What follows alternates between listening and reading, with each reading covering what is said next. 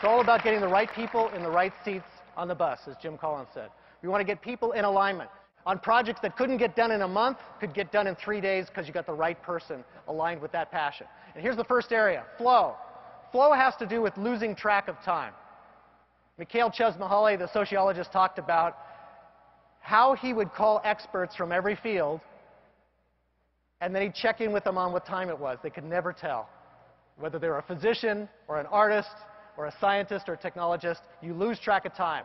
Flow. Secondly, it's something that you could do with the greatest of resilience. You could do it despite fatigue, despite failure. You get up the quickest when you're in a state of passion. Third, I'm talking about accountability. This is the first thing you want to sign up for, is something that you're passionate about. Notice this on the people in your team. Fourth, now I'm not suggesting that anyone ever do anything secretly for free. But the truth of the matter is, when somebody's passionate about it, they're not watching the clock as much. This is worth noticing in your best talent. They want to get this done beautifully. They also have a standard that's even higher because they're passionate. This fifth area is really critically important. I noticed it last night at the parties. I think you might experience it tonight. It's really important.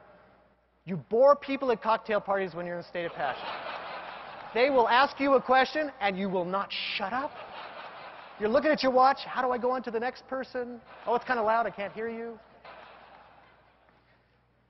You become politically incorrect, right? When you're passionate, you're not so sensitive about what other people think.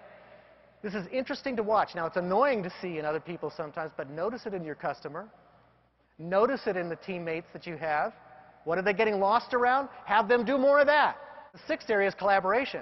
If you want people to collaborate, they got to want to be together on the bus. You know, people know when you don't want to be with them. I'm sorry, you can fake it for a while, but it's just the way it is. It, it's visceral.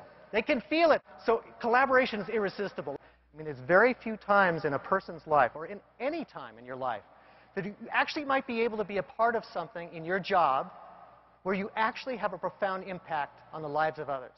How often does that really happen? You're the most admired people in this business. You're the top 1%. Who better than you to lead us into this new world that's already transforming lives? I know it, I feel it. And I really admire where you can take us tomorrow.